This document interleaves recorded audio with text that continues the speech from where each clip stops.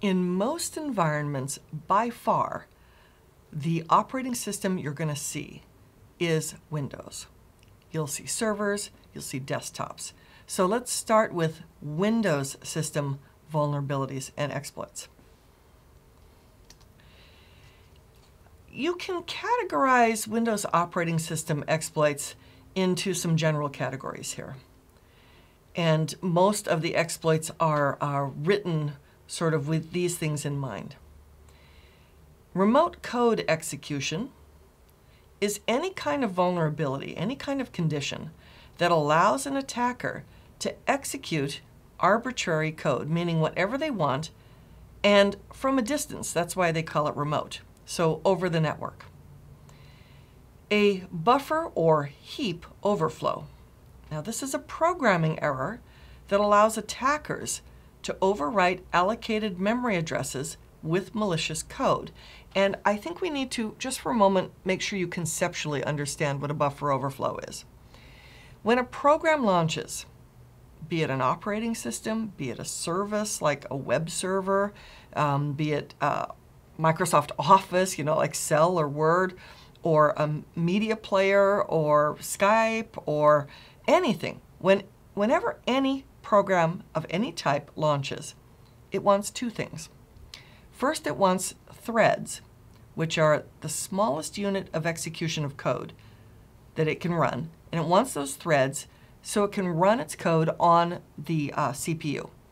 The operating system, the, the primary job of the kernel, of the core of the operating system, is to schedule threads to take their turns on the CPU, or CPUs, or CPU cores. So that's one thing. The other thing that a program wants, has to have, is some memory so it can load itself, and so it can load documents or files or whatever work it's doing. And so it has also a little bit of spare memory to accept input and queue output. We call these buffers. So um, have a little bit of memory here so that as input is coming in, like a person is typing in their name, or data is coming in off the network, or something's being loaded from, uh, you know, a, a removable media, it needs these input buffers. And, uh, well, it needs output buffers as well, but we're not focusing on that. What a buffer overflow is, is this. The operating system says, okay, you can have X amount of RAM because the um, application asks for it. It says, I need X, whatever X is, certain amount of RAM. And the OS, if it has it, will grant it. And if it doesn't have it, it will maybe page out some least recently used code to make some room. So uh, anyway, the, uh, the application has a certain amount of RAM in memory addresses. Now, when it needs to take input from a user or the network or something, or a microphone or a camera or something, it will um, allocate an input buffer so that this data can come in. And uh, when you're programming, you allocate input buffers in a lot of places because you need to take in data and then you do something with the data. You only get so much. And this, this is the design of the program. I only need X for this one activity, whatever this activity is. So I just have X, and the whole program is like this. And the buffer is just like this, okay? And um, it's a certain amount. Now, when the input comes in, it is up to the developer who wrote this program to draw boundaries around that amount. To basically say, the input that's coming in can only be so big. In other words, you can't have a first name that's 250 characters long. It just doesn't happen. And even if it does, shorten it. You know, so um, it's up to the application developer to actually, in the programming language, specify limits on how much input can come into this buffer for this particular activity. Makes sense.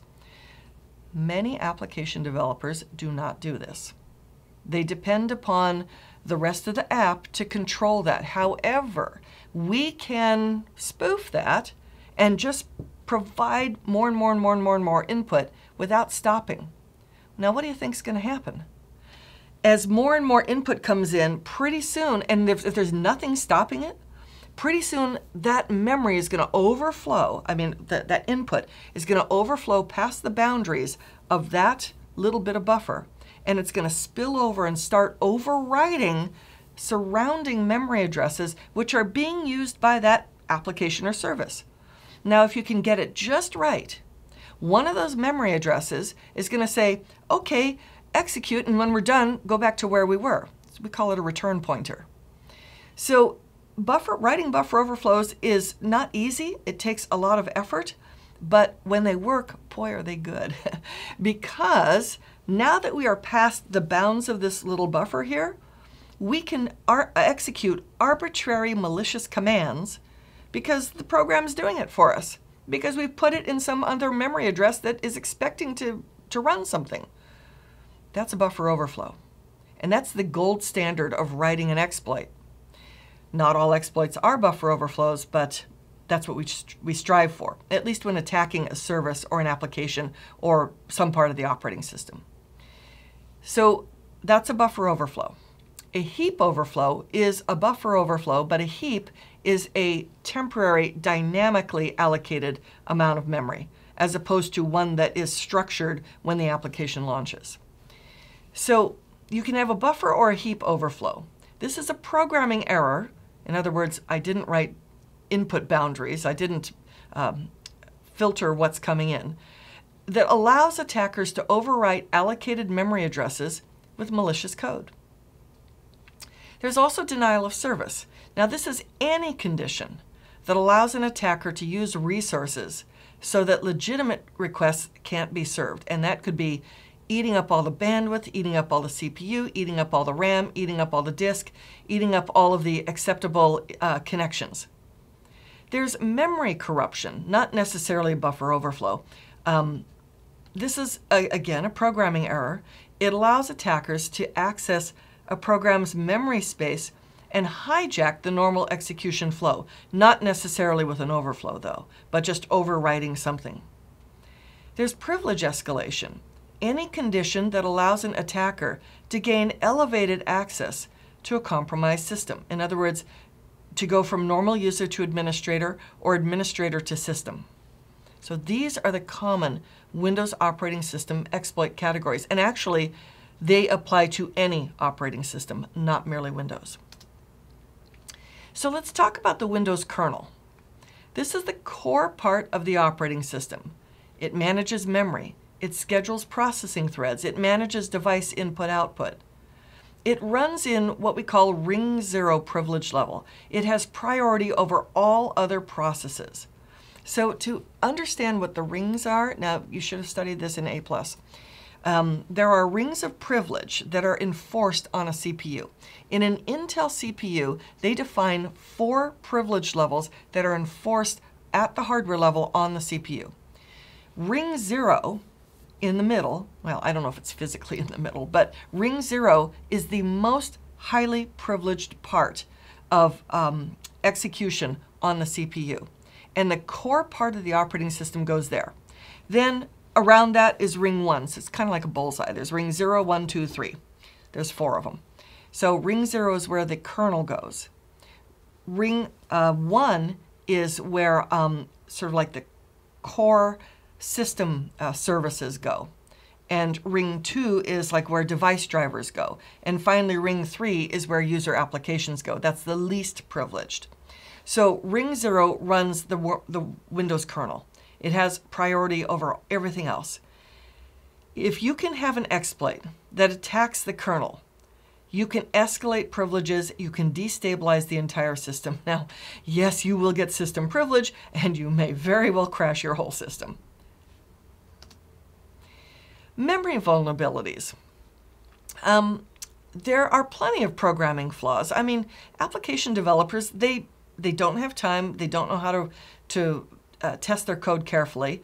They're trying to get something out and get it to market so it can be sold. So a memory vulnerability, this is a programming flaw that results in improper access or improper handling of objects, in other words, bits of code, stored in memory.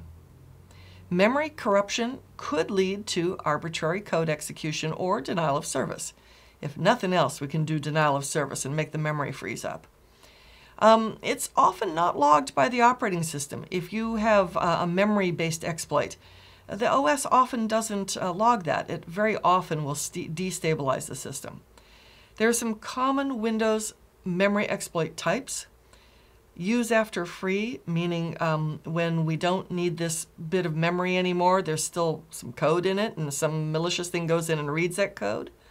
Uh, we talked about the buffer overflows and the heap overflows, um, where you basically uh, um, filling in too much input and overwriting surrounding memory addresses and, and, and uh, executing arbitrarily. Uh, there's integer overflows where you basically, um, I need to do a, a, simple mathematical operation. And um, so to do like a multiplication or a division or something, I only allocate a little tiny bit of memory just for that. But I have uh, an operation that needs to use more than that. And, uh, and yet the app does not uh, necessarily um, allocate it. Or we could just have memory leak denial of service. And, and the way that memory leaks is, um, you know, when a program needs some memory, it usually needs it to do something specific for a short while. And um, programming these days is what we call object oriented. So you have a thing, an object that does something. And uh, so I, I need to allocate a little memory for this thing to do its thing, this object to do its thing, whatever it is. And when it's done, the program's supposed to give the memory back to the OS. Well, poorly written programs don't. So I keep on asking for more, and more, more, and I never get it, give it back when I'm done. And pretty soon you have memory starvation. So we call that a memory leak. All of these are vulnerabilities with memory. So those are the most common types of Windows vulnerabilities and exploits.